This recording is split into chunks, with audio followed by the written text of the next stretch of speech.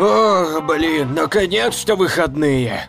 Наконец-то можно посидеть нормально с мужиками в баре и попить пивка. Неделя просто ужасная, нигде покоя нет. И не говори. На работе одни напряги. А когда приду домой, тогда же футбол спокойно не могу посмотреть. Женщина задолбала. Постоянно находит какую-то работу для меня. У меня такая ж херня. Женщина готовит ужасно. Никогда не пускает меня на рыбалку. В постели не дает, потому что у нее постоянно болит голова. Ненавижу свою жизнь. Как я тебя понимаю.